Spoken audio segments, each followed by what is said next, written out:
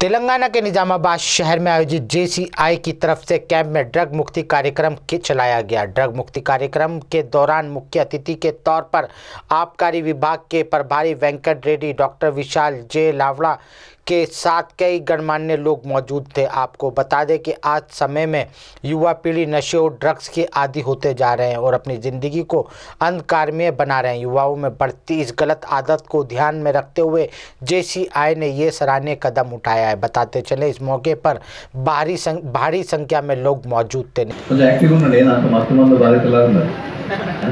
మీకు నేను MSc BEd almost ten years టీచర్గా జాబ్ చేస్తాను గవర్నమెంట్ టీచర్ so that మీలాంటి వాళ్ళకి కొంచెం చెప్పాలంటే బైక్ ముందుంటే మాటలు వచ్చేస్తుంటాయి. మీరు యాక్టివ్గా ఉంటే ఇంకా బాగా వస్తాయి. ఎక్సైజ్ ప్రొవిషన్ విషయానికి వస్తే గవర్నమెంట్ కొన్ని పదార్థాలని ప్రొహిబిట్ చేసింది. ఏంటవి అంటే